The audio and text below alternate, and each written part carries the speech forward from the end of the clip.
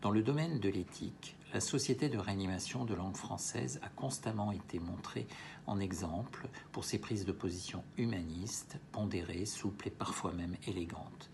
Elles ont toujours été le reflet de l'esprit de notre société savante.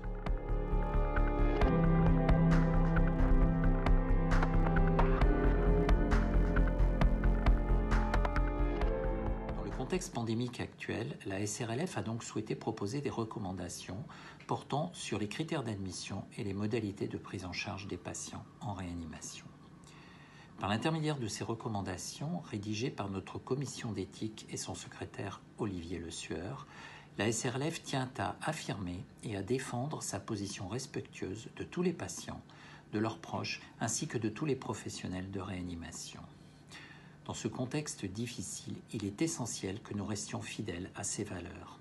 Et notre solide culture éthique, initiée par nos aînés et sans cesse enrichie au fil des ans, ne doit être ni fragilisée ni balayée par cette épidémie. C'est sur elle qu'il nous faut nous appuyer et c'est elle qui doit nous permettre de faire face. Ainsi, si certaines de ces recommandations rappellent ces valeurs, ou si d'autres se veulent être des repères pour nos professionnels, elles sont toutes le reflet fidèle de l'esprit de notre société. À ce titre, le conseil d'administration que je représente ici est particulièrement fier de ce texte, désormais disponible sur le site de notre société.